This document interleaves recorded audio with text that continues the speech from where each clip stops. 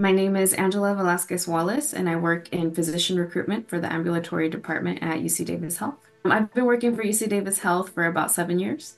I remember my childhood pretty well from when I first arrived at the United States. Um, we, my family is from the Texas border. We're from Reynosa, Tamaulipas, and um, so I went to preschool in Texas. So it wasn't completely out of the ordinary for me to be in America.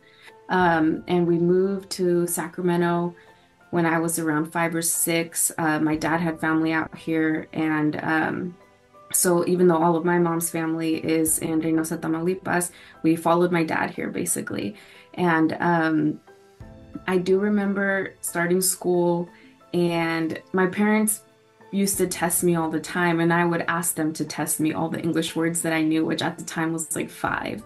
I remember I knew how to say horse and hamburger and apple, um, but I didn't know how to speak English. And when they dropped me off at kindergarten for the first time, nobody spoke Spanish. My teachers didn't speak Spanish. Um, and I cried. And I remember I was crying because I didn't understand anybody.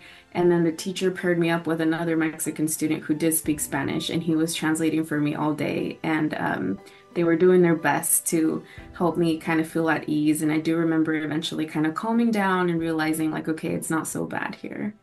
My dad is from Monterrey, but uh, Nuevo León in Mexico, but um, he ended up hiring a fraudulent lawyer, and because of it, he ended up with an order of deportation. He decided that it might be safest to self deport. He had a job opportunity. He was already working with nonprofits here in Sacramento, and he was given an opportunity to start like another branch in Central America. And so he decided to take it because he thought it was kind of safety for him um, to be able to continue his career and his work, but in Central America.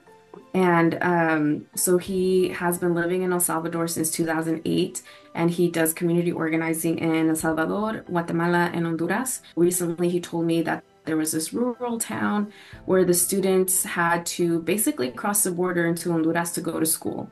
And um, when he was talking to the community, he asked them, What do you guys want? Do you want what's your priority? Clean drinking water roads or a school. And after they talked it over, they chose a school.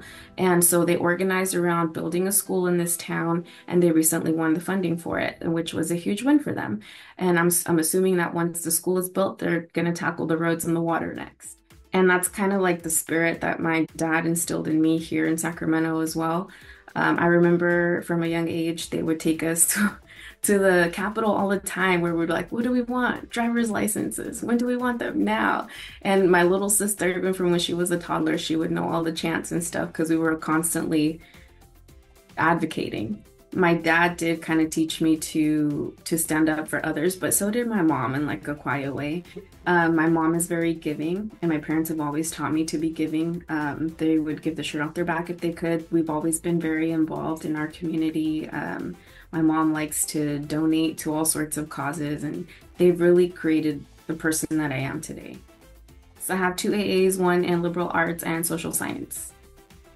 I worked for two nonprofits in Sacramento prior to coming to UC Davis. I became a legal resident in 2017, which was right before I started at UC Davis. And I almost didn't get my job here at UC Davis because they're like, we need your documents, we need your documents. And I was still waiting for them. And um, I think I got it at the nick of time. They had given me a deadline, and I think I was like two days late, but I reached out and I said, Hey, I just got my documents. Can you please hire me? And um, they still hired me. That was nice. I think that I found my home at UC Davis. Um, I feel working here like like I am helping the community. Uh, and I do feel like that is a priority at UC Davis. It's a priority to create an atmosphere, not just for patients, but for staff as well, that is inclusive. I think it's hard hard for someone who hasn't lived the experience to understand sometimes. I admire the heck out of my mom because she left everything behind. I admire her so much because I don't think I would have the courage to do that. I almost feel like I've lived a privileged, privileged life and if somebody told me, like, pack up and leave everything behind, I don't think I would. So I really admired their resiliency, um, the fact that they survived in a country where they didn't know the customs, they didn't know the laws, really, they didn't know the language. Your only purpose should be to survive and be happy. That should be your purpose. And um, I feel like the purpose needs to come from within, not outside. Um, but I do feel like there are things that make us feel fulfilled with ourselves. Like for me, it is helping others.